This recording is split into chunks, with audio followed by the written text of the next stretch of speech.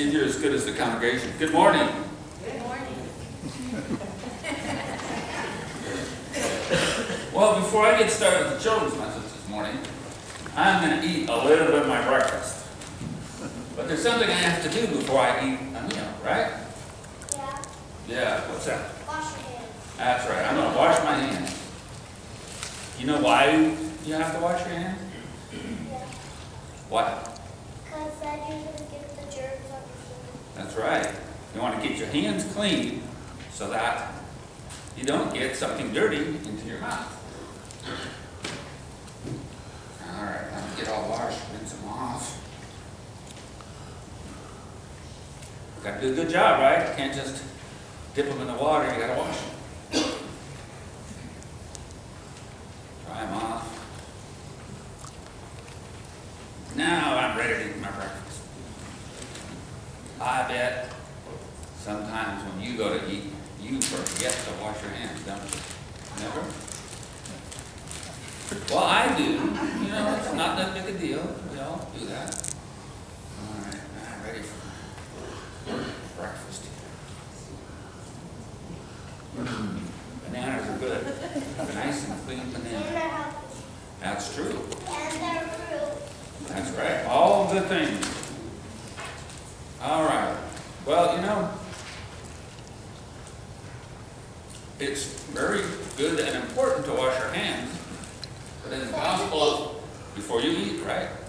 But in the Gospel of Matthew, it tells us where Jesus said, there's something even more important than making sure that what goes into our mouth is clean. And he, it tells a story about he, when Jesus lived on the earth, there were religious leaders, and they had lots of different things they expected people to do, to, to wash their hands before they ate. Sometimes they even had to wash their food, or just a whole bunch of things they worried about making sure that everything they did was clean. Well, apparently Jesus' disciples were kind of like we are. They forgot to do that sometimes.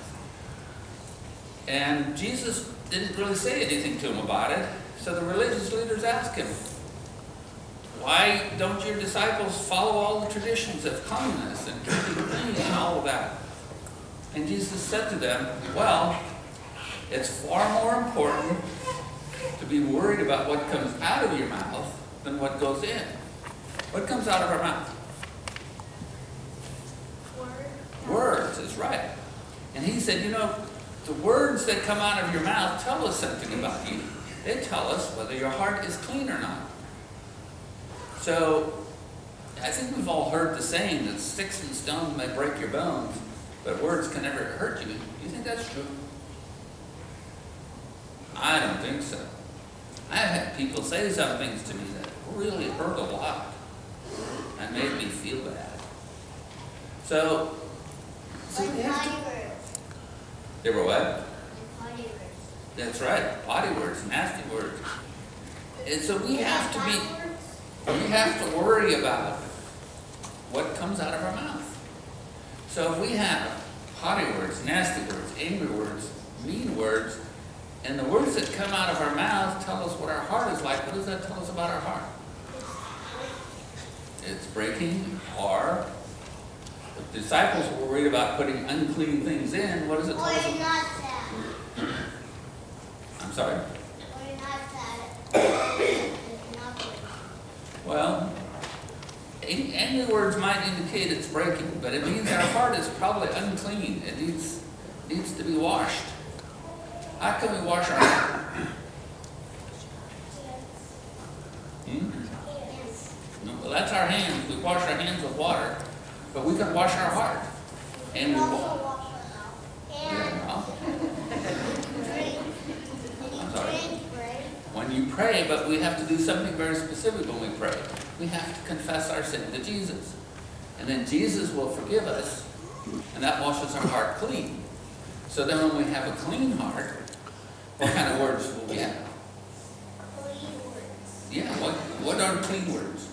They're nice words. They're nice words, they're gentle words, they may tell somebody you love them. Those are words that come out of a clean heart. So what we have to learn from this is we have to kind of pay attention, we have to listen to ourselves. And here. well, what kind of words are coming out of my mouth? Am I angry? Am I yelling? Am I saying potty words? Or am I saying nice words?